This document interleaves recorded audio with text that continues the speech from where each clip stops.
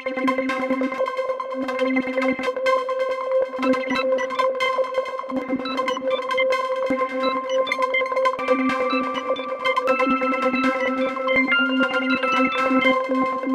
do you do if you're just visiting Los Angeles for one day, one night, and on a budget? Cars, constellations, and comedy. Welcome back to the vlog. As you can see by my face, it's still hot in Los Angeles and my air conditioning is still not working. But what can you do? 2017 has been a great year thus far. Earlier this year, I got to see my sister Meg when she was visiting Las Vegas.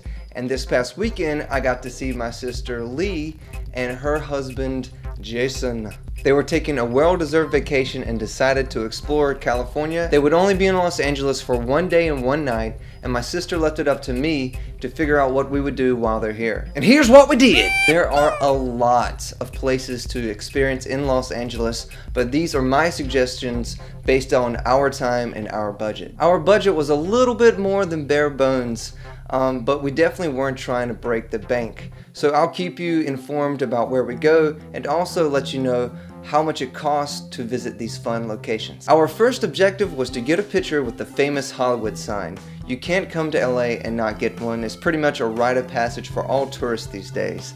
And let's not forget, it's free. There are a few ways and places to take a picture with the sign, but I wanted the one that was most convenient. Lee and Jason really weren't in the hiking mood, so I needed to find a spot that I could easily find parking and get a really solid picture. I researched a whole lot of YouTube videos and found the perfect spot. 3115 Canyon Lake Drive, Los Angeles, California 90068. The address is down below in the description and all you have to do is copy and paste it into your favorite navigations app. This spot was suggested by Circa News. They created a descriptive video that gives one of the best explanations of why it's so hard to get to the Hollywood sign and gave you three different locations to take pictures. But hold up! The address they give is 3160 North Canyon Drive but it needs to be 3160 Canyon Lake Drive. Adding that one word lake will put you in a totally different place the right place. Other than that, their video is very helpful, has wonderful graphics, and is totally worth a watch if you plan to go to the spot. Onward to the next stop! After we took some pictures, it was time to go sample some of the wonderful art of Los Angeles and to get some air conditioning and get out of the heat. There are so many places to choose from for fine art in Los Angeles but Jason is a muscle car lover, so our next stop had to be the Petersen Automotive Museum. Located at 6060 Wilshire Boulevard, Los Angeles, California 90036. When I first moved to LA, this place looked totally different and has since had an updated artistic makeover. I think the new look is beautiful and elegant, which reflects the art pieces that are held within. It's 15 bucks per person for adult admission, but depending on who you are, you could get a discounted ticket or even get it free. I would suggest going to www.petersentickets.org to see all the options. And depending on when you see this video, prices might have changed. It also costs 12 bucks per vehicle to park. It just so happens that the Petersen was having a local car show on the deck of their garage that day, and a bunch of local wrench-turning Angelenos came out to show their superior automotive artistic skills. It'd be really hard to choose between all these beautiful machines, but uh, I would choose this one. The Petersen has famous cars, karting cars, old cars, new cars, yellow cars, blue cars, cars that run on sun, cars just for fun, cars with cool flames, cars with fancy names. They've got all kinds of things that roll on wheels. All of them will give you thrills. They're fast and elegant and everything you like. But until gas prices go down, I'll take my bike. That was an original poem by Carol Martin Greer. I was inspired by Mike Rowe. He's one of my favorite hosts, and uh, he has a podcast. Uh, if you don't listen to it, you totally should. Check it out, it's pretty cool. Onward to the next stop! After three floors of cars galore, it was time to get some grub. The Petersen has a cafe, but I wanted to take Lee and Jason to my first favorite Mexican LA restaurant. There have been many after, but this was the first. Frank's is located at 363 South Fairfax Avenue, Los Angeles, California 90036. It's a small local favorite with delicious food at a good price. I would recommend their made to order guacamole. It's very delicious, very fresh. Oh my gosh, and as you can tell by this picture, it didn't last very long. On the way back to the car, walking down Fairfax Boulevard, I pointed out my very first apartment in Los Angeles. It's a crazy story for another time about how I landed there, but I would like to thank Kelly Sweet and Jesse O'Neill for allowing me to rent their open bedroom um, because without them, I wouldn't be here right now. So thanks, guys. I appreciate it. I only had enough money for one month of rent, so that means I had one month to find a job and make enough money for the next month's rent. That was the main objective at the time and still is kind of the same now. When walking back, we walked through a little bit of the Los Angeles County Museum of Art, also known as LACMA. You can get a list of exhibits, events, and ticket prices at www.lacma.org.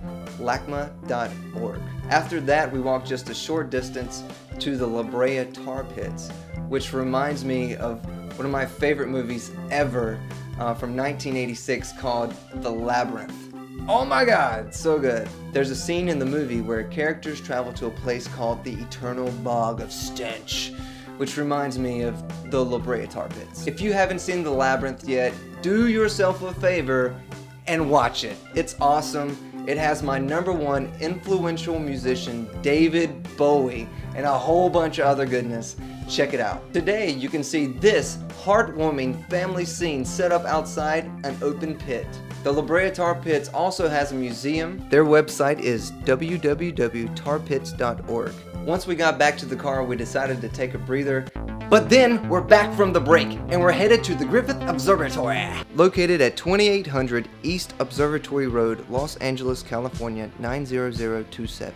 It's a great place to watch the sunset as the city lights up. I would suggest checking it out online at www.griffithobservatory.org to see all the upcoming events and hours of operations. Oh yeah, did I mention it's free? Which is always good to me. They have exhibits inside and they also have this really huge telescope you can look through on top of the roof. Traffic was really congested and parking was very sparse due to a concert that was happening at the Greek Theater located right down the hill.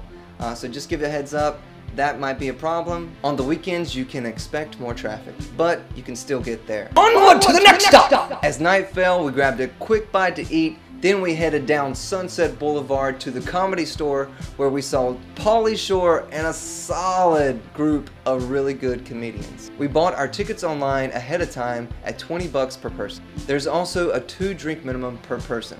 And if you don't drink, I believe you can order food instead because they can't make you drink alcohol, right? Drinks range from about 8 to $16 a pop, so if you order two of the cheapest drinks, plus tip, plus ticket, you're looking at about $40 minimum per person. For Los Angeles on a Saturday night, Sunset Strip with that kind of lineup, it's a pretty good deal. Their site is www.thecomedystore.com. We were blessed to find some cheap street parking on Sunset Usually it's like 15 to $20 for parking lots, so keep an eye out for those street spots. I'd been to the comedy store a couple of times, but I was excited tonight to see Pauly Shore. I remember him from movies back in my childhood, like Encino Man from 1992 and Son-in-Law from 1993. And one of my favorite actors from the movie Son-in-Law is Lane Smith. He was an awesome actor who created memorable characters. One of my favorite movies that he was in that had a huge impact on my life was The Mighty Ducks. I'll never forget that movie. It's it's an awesome movie. I think everybody should watch it, and uh, I'll miss him. So we get into the comedy store, and we get wonderful seats right in the middle of the second row of general admission. Most of the crowd and myself thought everybody did a great job. There were a few audience members that uh, were picked on or directly um, affected by humorous remarks from comedians, but you know, if you can't take a joke, uh, you probably shouldn't go to a comedy show.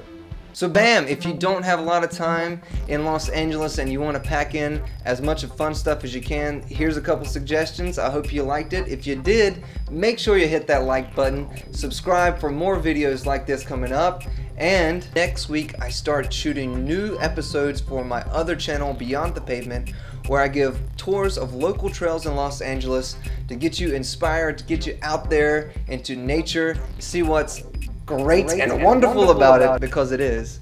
And uh, check it out if you get time. Have a good one and take it easy.